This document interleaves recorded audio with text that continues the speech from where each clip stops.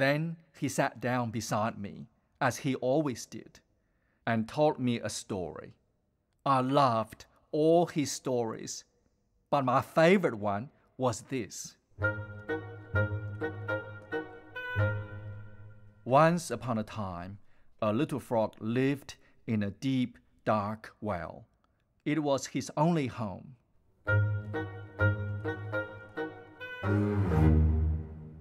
One day, he met a frog from the world above.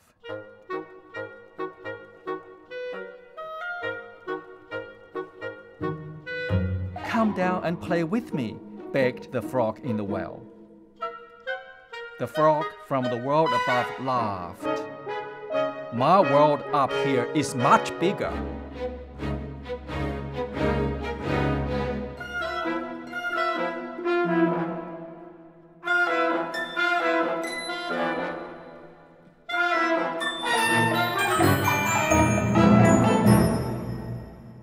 The frog from the well was very annoyed, so he told his father what he had heard. My son, his father said with a sad heart, I have heard there is a bigger and better world up there, but our life is here in the well. There's no way we can get out.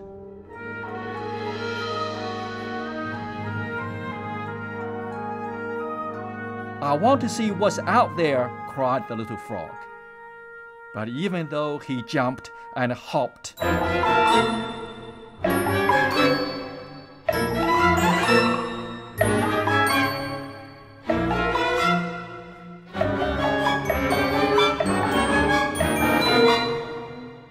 the well was just too deep.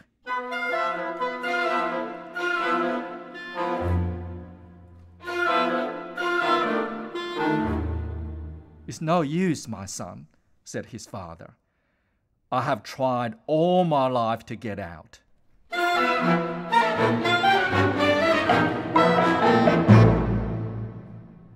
Still, the little frog kept on trying to escape from that deep, dark well.